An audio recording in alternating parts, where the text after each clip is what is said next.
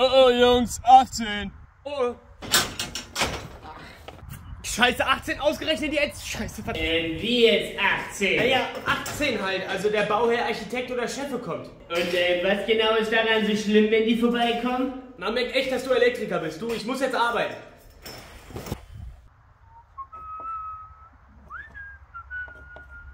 Ah nee, ist vorbeigefahren. Doch nur eine 21. Gott sei Dank, ich hätte vor Langeweile echt fast gearbeitet. 21, dein Ernst? 21? Entwarnung? Ja was denn? Das sah aus wie die Karre von dem Architekten. Alter Junge, ich habe hier gerade ein volles Bier weggeworfen. Naja, dafür kann ich ja jetzt auch nicht. Doch natürlich, mach den Job vernünftig da oben und halt Ausschau, Gottverdammt. Wofür bist denn du Dachdecker?